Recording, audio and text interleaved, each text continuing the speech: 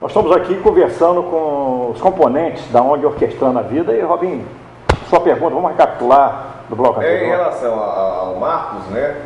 Como que se deu essa iniciação dele? Ele foi, um, foi membro da primeira turma, né? Da primeira leva dos bolsistas, mas como que despertou em você? Porque geralmente você ingressa numa academia, ingressa numa orquestra como um músico e não almejando a se tornar maestro.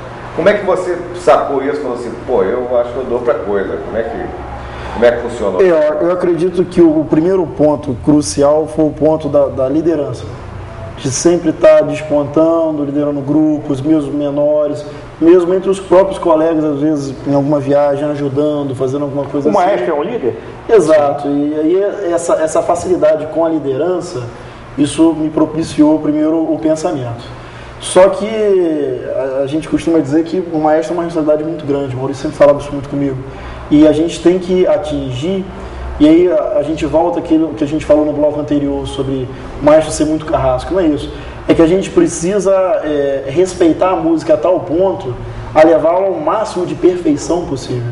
A gente é, existe um maestro, um amigo nosso chamado Roberto Zambrano, que vem da Venezuela, que diz que o bom é inimigo do perfeito.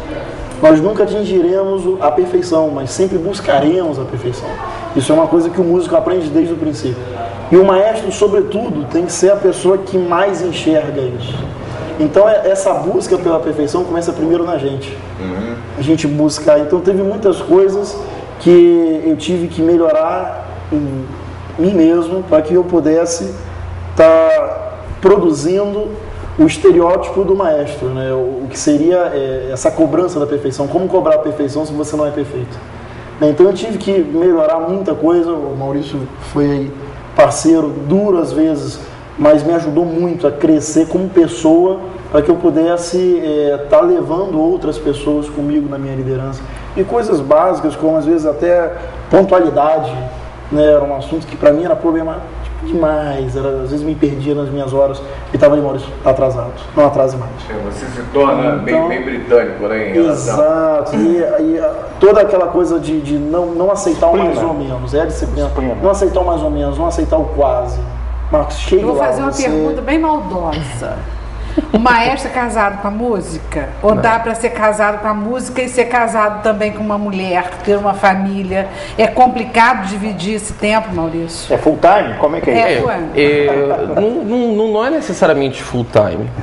Não tem que ser o tempo integral, porque, enfim, as pessoas têm que ter vida além da, da, da da vida artística ou da vida profissional. A questão é que quando a gente fala em arte, não é possível realizar esse tipo de trabalho se você não gosta realmente do que faz, se você não se entrega. É muita doação, né? Tem que é, haver uma doação. Você acaba abdicando, abrindo mão de. Mas há, há, há, há que se abrir mão. É necessário que se abra mão de algumas coisas. Qual é o tempo de, de ensaio diário? Bom, para uma preparação de uma viagem, por exemplo, como da orquestra, a gente são em torno, em média, de seis horas diárias com orquestra, com orquestra. Fora o trabalho Fora, individual de Nike. Isso, Qual é a faixa etária do, dos componentes se eu, da se eu estivesse Se eu estivesse casado, já estaria separado. Em três meses já teria ido ruim no casamento. Isso, com certeza. Não foi. Domingo, feriado? Todos os dias. Eles só tiveram um dia de folga, que foi no dia 13 de novembro, sábado anterior à viagem. E a gente fez um concerto no dia 12. São quantos componentes? 86.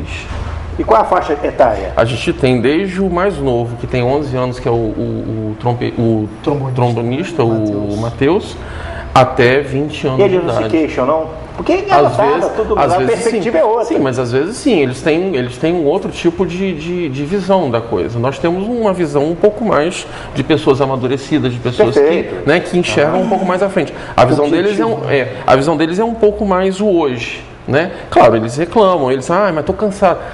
Aí, vem, aí que vem a colaboração que você dá para uma formação, talvez uma futura formação profissional ou uma formação como pessoa, que é necessário que se pague o preço para se conseguir alguma coisa. E como é que os convence? Porque um garoto de 11, 12, 13. Por quê? Acontece ele que é mais É difícil. Olha, Como é que, Olha- como é que é a sedução? Se dá essa sedução É aí, difícil, porque hoje a gente acaba brigando com, com, com o computador da Lan House, com um jogo, É com coisas que são tão imediatistas e música não é. né, com celular. E música não é uma coisa imediatista. A arte não é imediatista. Você necessita Verdade. diariamente. Treino. é- Treino, isso acontece. Exato, para que se chegue treino, é. a um alto nível. E a gente não está falando de, de uma coisinha bonitinha que a mamãe ou o papai né, vai incentivar. Não, a gente está falando de pessoas que estiveram viajando, que foram para o Carnegie Hall que tocaram lá. Nós não, a gente tava, a gente pleiteou, a gente execu, eh, realizou um- um- um- uma façanha, talvez, não sei, né, de, de um grupo de um interior, um interior de um estado, de um país de terceiro mundo, que foi o primeiro mundo, estava tocando numa sala de concerto onde os melhores estão tocando. Só Então, Deus sabe para chegar onde você Exatamente, chegar, era é foi. necessário que ele, foi necessário que eles entendessem o que isso resultaria e eles tiveram que entender. Muita conversa, é, muita, muito discurso, muita saliva, gasta- gastamos muita saliva, mas a música faz um trabalho muito grande de convencimento e isso é, acontece. Sabe? A gente estava constantemente. O música Johnny o né? Johnny estava A sempre. É, seduz. seduz por si própria. Quando- é, o ego deles, quando eles percebem que estão realizando coisas boas, eles se prontificam a realizar mais. Entende? Há uma identificação Há uma maior, identificação. é? Existe, existe, existe uma certa, uma certa resistência? Sim, em alguns momentos Uhum. existem. Porque as pessoas se cansam, as pessoas ficam cansadas, estafadas. Né? Mas é, numa balança, quando você coloca para pesar, o que fica é realmente o mais importante, é o que interessa. É, a- é- é a realização, é chegar à excelência, chegar à maestria em determinada coisa. Importante frisar que a música, como, diferente das outras artes, que você pinta e o quadro está eternamente pintado, ou uma escultura, a música não. Nós trabalhamos com tempo. Às vezes são seis meses trocado por dois minutos. Isso quer dizer, eles precisam atingir um nível de perfeição É repetitivo muita suação. que naqueles dois minutos vão se tornar Em relação, em relação ao tipo de arte né, da pintura, tem a questão da sustentabilidade, da manutenção, que é você manter o instrumento afinado. Não é isso mesmo? É, você. Bem, bem ajustado, bem ajustado. Mas você não- Você se- sempre se reapresenta e sempre se aprimorando e Claro. fazendo uma, uma apresentação melhor que a anterior, né? um, é, um acorde diferente, muda-se um arranjo. É encantador, né? Mas vocês não vão fugir da minha curiosidade de espectador, não.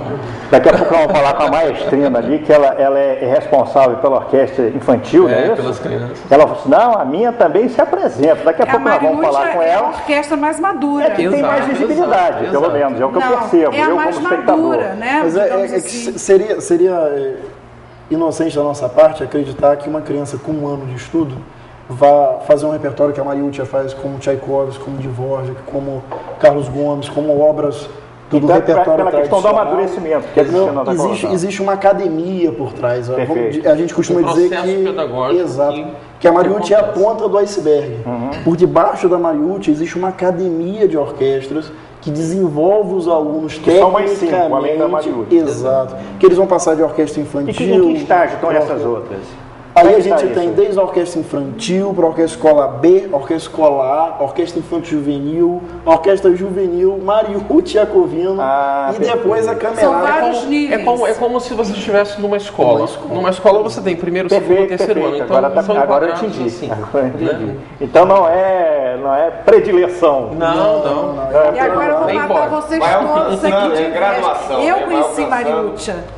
E eu não eu conheci conhecia, aqui em. Campos. E não Ela lanchou na nossa casa. Realmente matou de. Porque Eu acho que é bom até aproveitar o gancho, Cristina, e registrar. Por que Mariúcha? Mariúcha, em primeiro Por que lugar. essa homenagem? É, em primeiro lugar, porque ah, seguramente da- da- das escolas violinísticas brasileiras, ela é um expoente, ela marcou tanto na sua, na sua trajetória como concertista, como na sua trajetória como professora, ela marcou diversas gerações do passado de violinistas brasileiros. Ou seja, muitos violinistas beberam da fonte Mariucci Iacovino. Foi, a- foi a brasileira, a violinista brasileira que teve mais longevidade na atuação da, da, da, da, da, da carreira musical. Ela tocou até pouco tempo atrás, coisa de cinco anos. Ela morreu tem dois anos, se não me engano.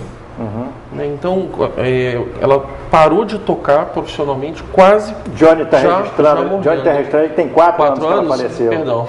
E to- e Eu até vi no Facebook outro dia que o Johnny tinha colocado que ele está aqui, daqui a pouco ele vai se apresentar, e tinha colocado que agora recentemente É, ela ela, completaria 99 ela faria anos, é? É, Exato, exato. E toda gravação brasileira de referência de obra para violino, às vezes para violino e piano, é dela.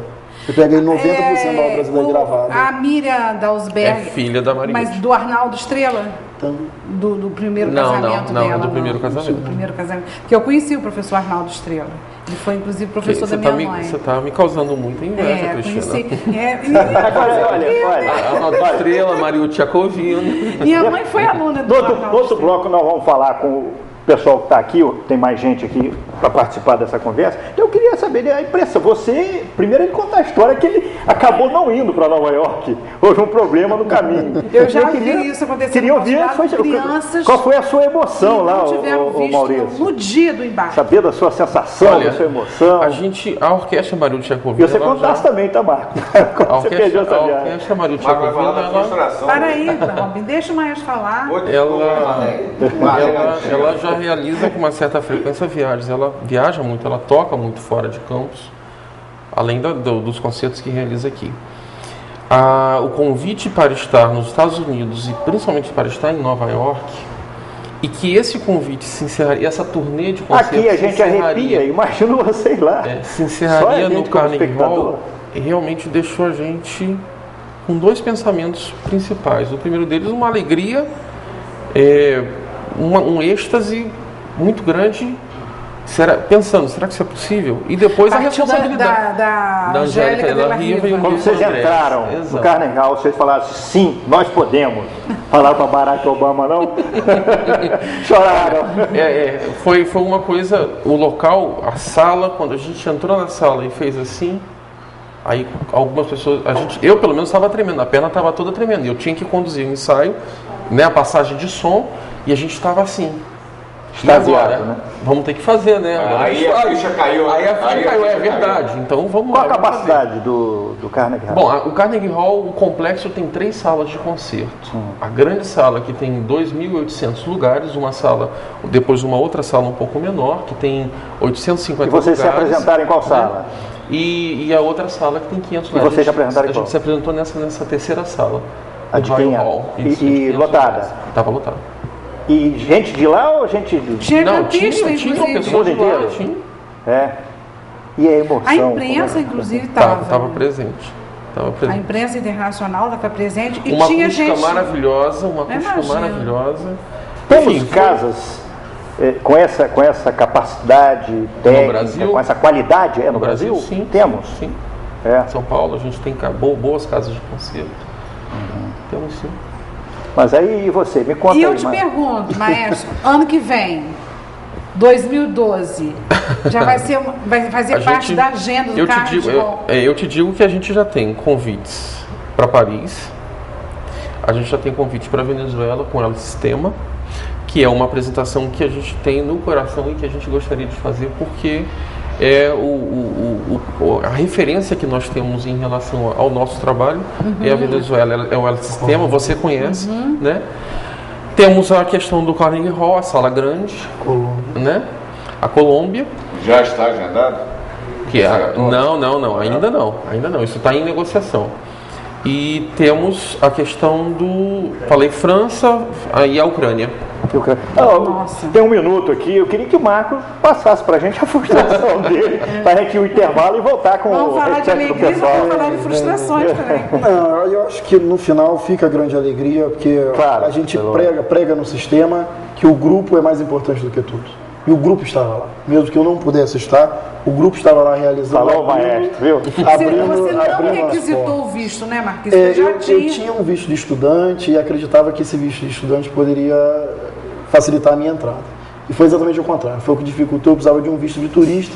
O João e o Maurício levaram o primeiro grupo no primeiro dia. Eu fui no segundo voo com o segundo grupo, embarquei todos e não pude marcar. então ficou aquela, aquela frustração de não ir como pessoa, claro, um ser Vocês humano foram em normal dois voos? Sim. em dois voos. E e ficou aquela frustração, acredito que um, dia, um dos dias mais tristes da minha vida, de não ter ido. Mas depois se sabendo. Mas a sabendo temporada do ano que vem você vai estar tudo se certo. Deus quiser, as portas, as portas As foram portas abertas. foram abertas, Com certeza. falar, as portas foram abertas e ano que vem. Nós vamos ao intervalo, daqui a pouco a gente volta com os outros componentes que estão aqui, ansiosos nós também, para bater um papo com eles. Fica aí, daqui a pouco a gente volta.